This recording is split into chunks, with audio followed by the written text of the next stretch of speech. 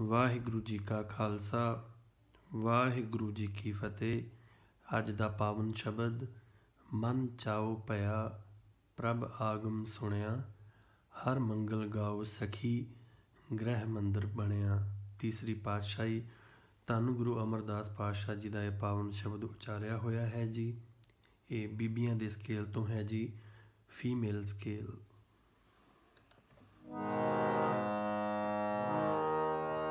ਮਨ ਚਾਉ ਭਇਆ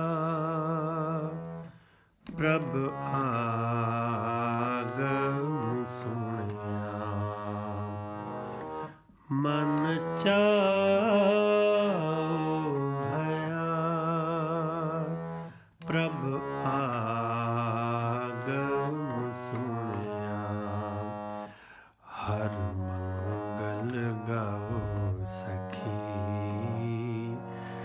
ਗ੍ਰਹਿ ਮੰਦਰ ਬਣਿਆ ਹਰ ਮੰਗਲ ਗਾਓ ਸਖੀ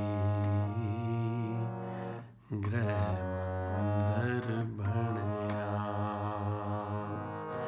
ਮਨ ਚਾਉ ਭਇਆ ਪ੍ਰਭ ਆ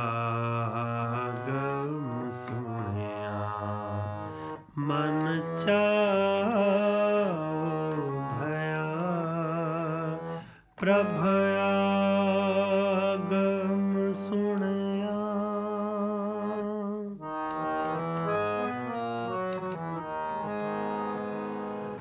ਹਰ ਗਾਓ ਮੰਗਲ ਨਿਤ ਸਖੀਏ ਸੋ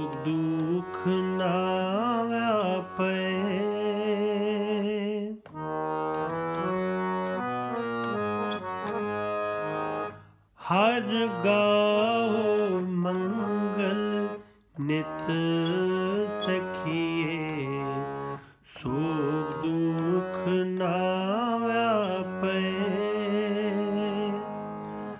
ਗੁਰ ਚਰਨ ਲਾਗੇ, ਦਿਨ ਸੁਭਾਗੇ, ਆਪਣਾ ਪਿਰ ਜਾਪੇ।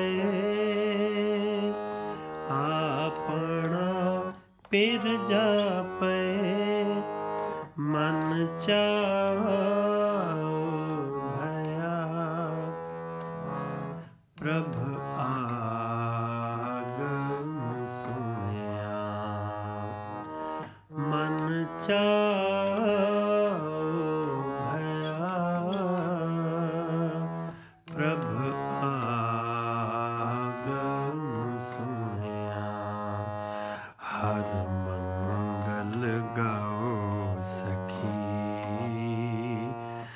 ਗ੍ਰਹਿ ਮੰਦਰ ਬਣਿਆ। ਹਰ ਮੰਗਲ ਗਾਓ ਸਖੀ। ਗ੍ਰਹਿ ਮੰਦਰ ਬਣਿਆ। ਮਨ ਚਾਉ ਭਇਆ। ਪ੍ਰਭ